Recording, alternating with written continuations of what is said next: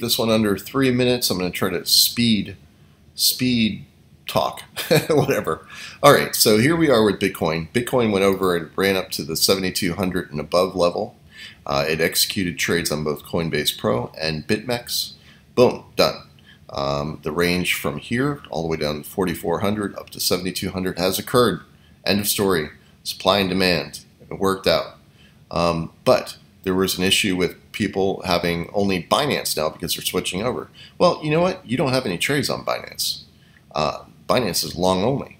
I didn't execute any trades on Binance. So if you're on the auto trade and you have a zero position and you're in USDT, which you should be on Binance, you shouldn't be in Bitcoin.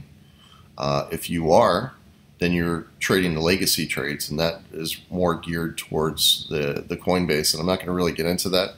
Uh, that gets more complicated. Then you're going to be looking for numbers to get above this high and higher, um, which is still possible. You go up to the uh, 72 to 7600, 77 area.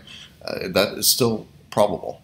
Um, but 7200 was the logical place, and that did occur on most of the exchanges except for our one special exchange, Binance, which will be traded definitely. But I'm going to be executing all the trades, so you're not going to have to do anything. That's going to be on me. Um, you know, there's not going to be any thinking on your part. If you want to trade on your own manually, that's fine as well.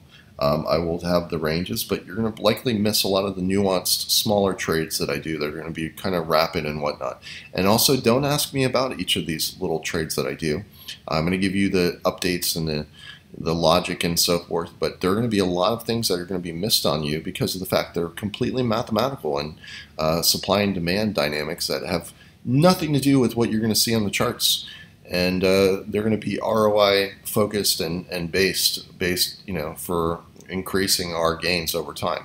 That's how I'm able to make you know good returns. You know, in 2018 to 2019, I had over 300 percent uh, for crypto as an aggregate, and on 2019 to 2020, 150 percent, over 150 percent. So, you know, uh, how will I do this year? Who knows? I have ideas and a pretty good guess that it's going to be higher than last year.